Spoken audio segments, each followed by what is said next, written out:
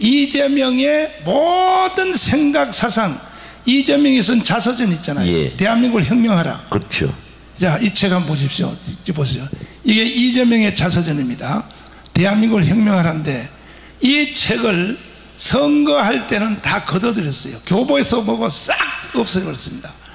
근데 이 걷어들이기 전에 이걸 먼저 산 사람이 있어요. 교수님들 중에. 사서 나한테 줄을 치면서 이 책을 나한테 설명하는데 이야 어떻게 이런 자가 대통령 후보로 나올까 뭐 정가 사범 이거는 문제가 아니되니까요 보니까요 처음부터 끝까지 뭐냐 주합력은 철수야 예, 맞습니다. 이재명은 예. 그게 이제 마지막 주자인데 예.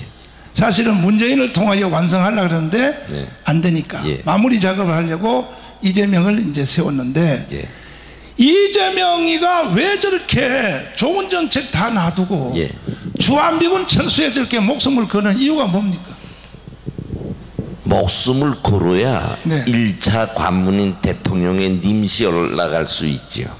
북한이 인정해 주니까. 음. 예. 그러니까 원래 골수가 미군 철수인데다가 음. 북한에서는 그거를 명중해 가지고 음. 지금처럼 저렇게 밀어주니까 윤석열 대통령 탄핵을 해가지고라도 대통령 되는 거예요.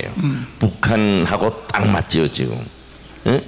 그래서 아마 12월 달에면 우리 지금 현 정부가 하는 것처럼 하면 저는 분명히 저 촛불이 횃불로서 탄핵으로 간다고 보아지고요. 그렇게 해가지고 1년 내로 미군 철수시키고요. 6개월부터 아마 미군 철수가 진행될 거고 1년 정도가 되면은 연방제를 형식상 수행하고 거기에 기초해서 북한이 남조선 해방을 이루가는 거죠. 자 마지막 발언을 부탁합니다. 예.